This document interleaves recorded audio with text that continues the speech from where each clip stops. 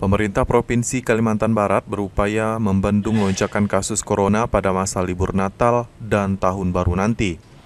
Sejumlah kebijakan akan diberlakukan seperti menutup alun-alun dan tempat umum lainnya pada malam pergantian tahun. Hal ini dilakukan untuk mengurangi kerumunan mengingat pandemi COVID-19 belum juga berlalu.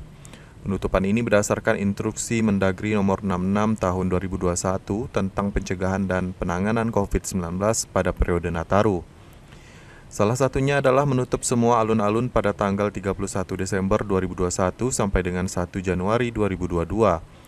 Kemudian dalam Imendagri tersebut juga disyaratkan pelaku perjalanan jarak jauh wajib dua kali divaksin, serta melakukan rapid test antigen maksimal satu kali 24 jam sebelum keberangkatan.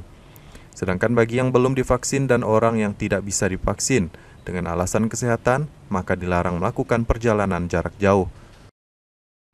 Jadi berdasarkan instruksi Mendagri nomor 66 tahun 2021 tentang pencegahan dan penanganan COVID-19 pada periode Nataru, itu salah satunya adalah menutup semua alun-alun pada tanggal 31 Desember tahun 2021 sampai dengan 1 Januari tahun 2022. Masyarakat terus diingatkan menjalani protokol kesehatan COVID-19 secara ketat dan bagi yang belum melakukan vaksinasi COVID-19 segera melaksanakannya.